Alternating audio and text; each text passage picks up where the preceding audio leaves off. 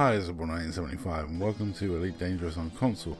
Now today we're going to talk about instancing, friends lists, blocking, and just generally dispelling a few myths. There is a myth going around that you can't instance with people that have you blocked.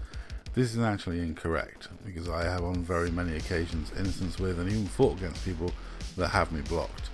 Um, you can't directly instance with them, but if one of your wingmates is in combat with them, you can manually drop on your wingmate's nav beacon and uh, as long as you manually drop not wingman navlock you will get in the instance with the person. It doesn't always work.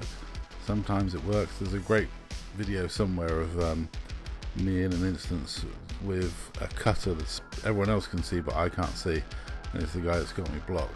So like I said it doesn't always work. Now a lot's been said about people being on each other's friends list and how this is supposed to help instancing Normally the ones that claim this are the sort of people that track you through the social tab in the game.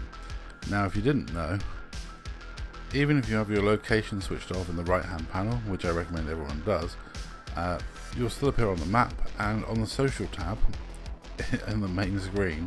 If someone clicks on that, they'll tell you what station you're at and what system you're in. And it's very easy for people to track you uh, thanks to that social tab. Um, generally that's why they want you on your friends list, not because it's easier to instance with you. Because nine times out of ten, when they're out hunting you or trying to track you down, they'll be appearing offline so you don't see them coming.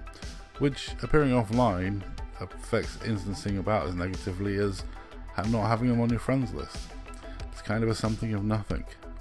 Oh, this is me being cheeky. Um, I heard there was a looking for group that I was interested in signing up for.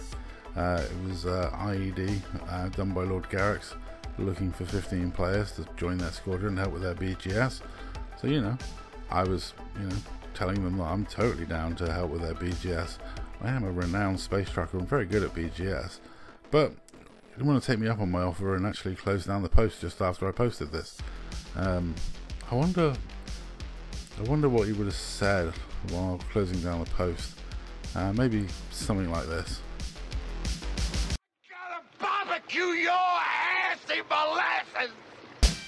The primary thing for instancing is mainly geographical location. You're more likely to instance with people that are geographically close to you. Uh, it has a minor effect people being on your friends list, and sometimes there's no guarantee. Uh, me and Attack Panda have terrible instancing, instancing issues.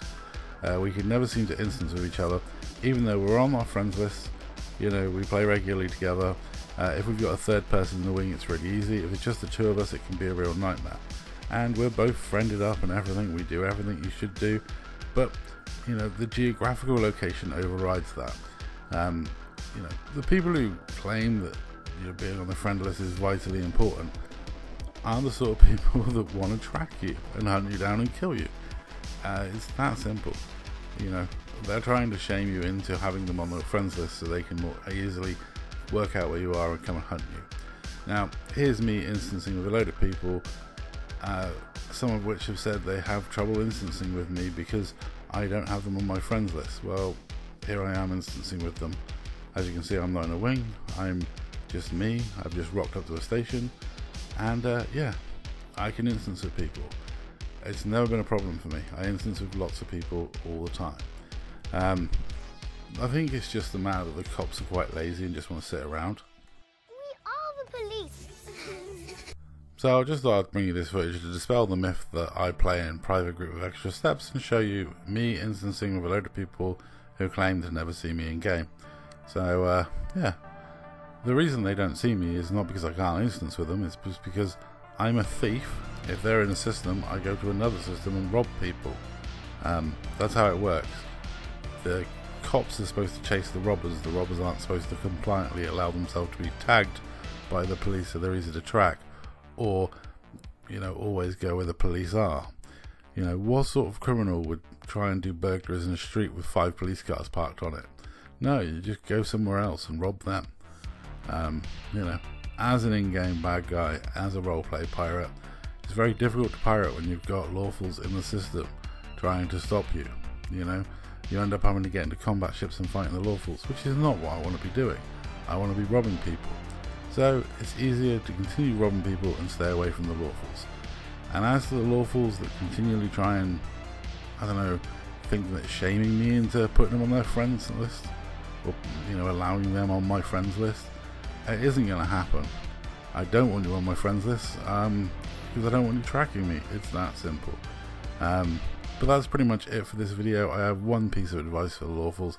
It is a piece of advice I've given them before, but you know, you are the cops. You're supposed to look for people. Advice from an old tracker. You want to find someone? Use your eyes.